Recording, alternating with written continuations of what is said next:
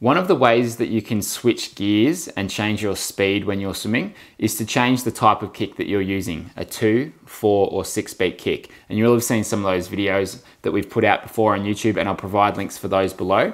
We recently had Ryan Hodierne on our podcast, and he's the biomechanist for NSWIS, which is the New South Wales Institute of Sport. And he works with Kate and Bronte Campbell. He's worked with elite swimmers, and he's really at the top of his game when it comes to biomechanics in swimming. And he spoke about one of the things that he tries to get the swimmers that he works with to do. And even the swimmers at, a, at the very top end find this hard in the beginning. And that's what I've found with coaching a lot of swimmers over the last few years at clinics and camps is for you to be able to de- develop your gears with your two, four, and six beat kick, that takes time and it's not going to happen straight away. But once you can develop that, then it makes it very easy to incrementally increase the speed that you swim while minimizing the effort required to do that. And the set that Ryan tries to get well, tries to get his swimmers to be able to do is this. So it's, it's 100 meters.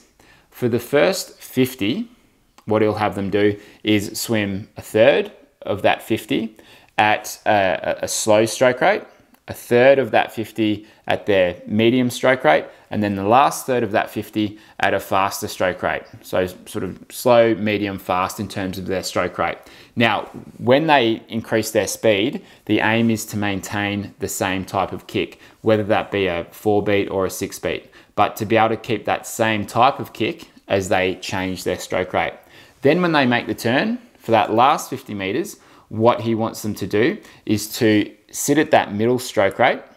And for the first third of that lap, he wants them to have a two beat kick. Then for the second third, a four beat.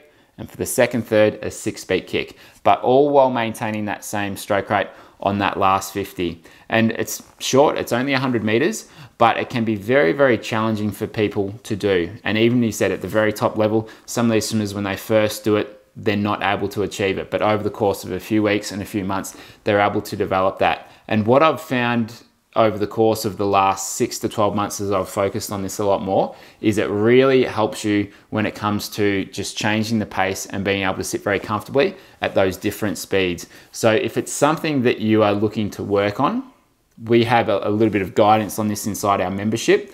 But if it's something that you're looking to work on, that can be a set to work towards. Now, how do you know what stroke rate you're holding? Well, it can be hard if you don't have a coach taking your rating, but a way that you can do it is if you know that your 7 out of 10 effort stroke rate, let's say it's around 60 strokes per minute, you could set your tempo trainer at that rating.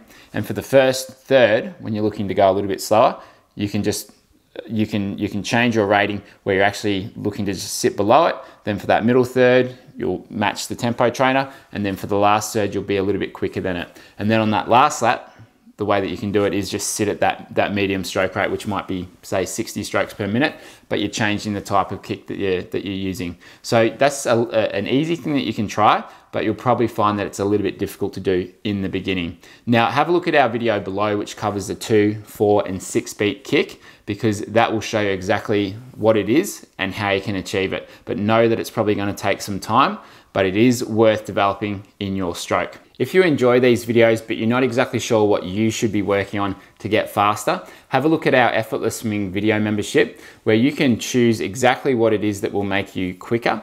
And for a lot of people, that can be their catch in their pool. For a lot of people, it can be their open water skills. And inside the membership, you'll find exactly what you need to get faster. Provide a link for the membership below. I'll see you next week with another video. Please like and subscribe and share it with someone who you know is looking to improve their swimming, in particular, their kick timing and their two, four, and six beat kick.